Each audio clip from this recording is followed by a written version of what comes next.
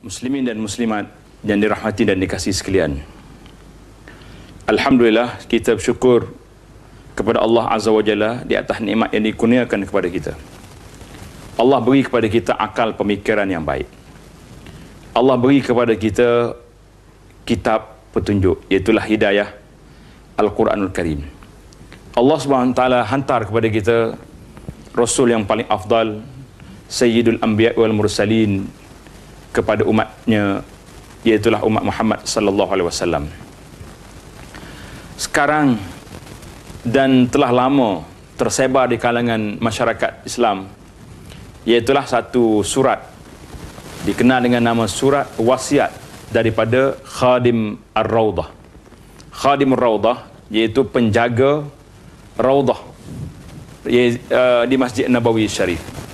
Jadi surat ini waktu anak kecil dulu sudah tersebar secara uh, tulisan photostat bagi sana sini. Hari ini dengan adanya alat moden bertambah canggih. Dia pun up upgrade juga uh, risalah uh, ini. Dulu dengan surat foto photostat, hari ini sudah masuk dalam internet, sudah masuk dalam Facebook, sudah masuk dalam WhatsApp. Semua alat dimasuk.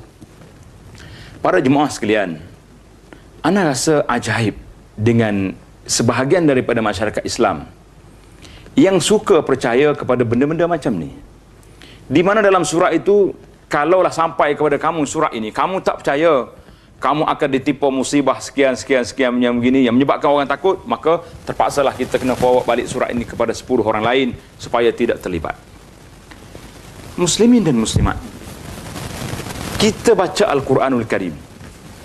Al-Quran sebut kepada kita siapa yang melakukan sedemikian, falahum azabun azim bagi mereka azab yang berat.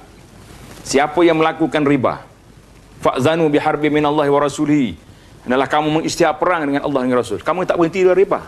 Tapi bila mari surat khurafat macam ni kamu boleh terima. Ini di antara benda ajaib yang berlaku.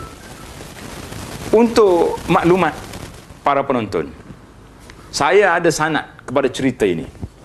Iaitulah guru saya Syekh Atiyah bin Muhammad Salim rahimahullah. Salah seorang daripada guru yang saya belajar dengan dia di Masjid Nabawi Syarif.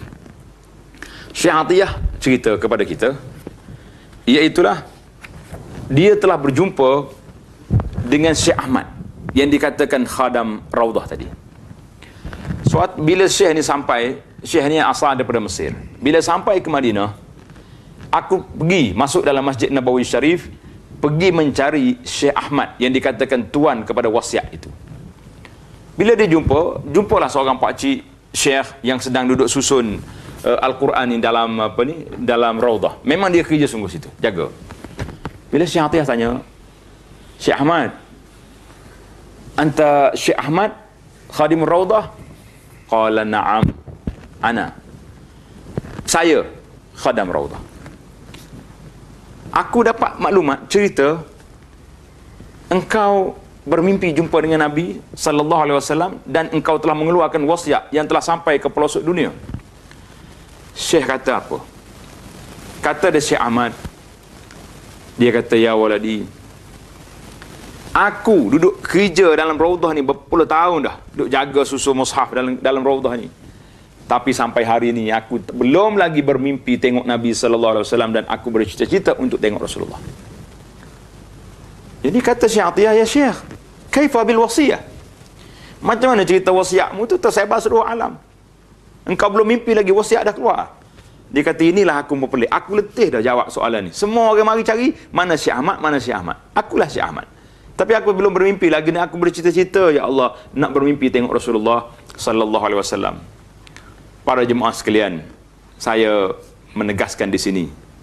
Mana-mana yang sampai risalah yang palsu ini. Sampai aja terus didik. Jangan percaya. Ini khurafat, ini kalau kita percaya boleh memberi kesan kepada akidah kita kerana kita percaya risalah ini boleh memberi manfaat, boleh memberi mudarat. Siapa dia photostat, siapa dia sebarkan kepada orang lain, dia dapat sekian. Siapa tak sebarkan akan kena bala. Macam mana kita boleh percaya sedemikian? Yang memberi manfaat, yang memberi mudarat semuanya di bawah kuasa Allah Azza wa Jalla, bukan di bawah kuasa surat palsu. Jauhkan diri anda daripada benda-benda khurafat macam ini benda-benda yang tidak asas dan tidak ada asas dalam agama kamu baca Quran yang memberi ancaman azab kepada orang yang buat dosa. Kamu baca hadis Nabi yang sahih daripada Nabi sallallahu alaihi wasallam yang memberi peringatan amaran tentang dosa. Kamu tak takut tapi kamu baca risalah yang entah mari daripada mana ini kamu takut. Maka kita tegaskan stop berhenti daripada menyebarkannya. Cukuplah pendustaan itu berlegat zaman dahulu. Zaman kita orang dah cerdik orang dah pandai. Jangan duduk buat benda-benda palsu kerana kita bimbang kita juga menjadi ejen untuk membawa khurafat dan benda-benda yang kau ke dalam masyarakat. Sekian. Assalamualaikum warahmatullahi wabarakatuh.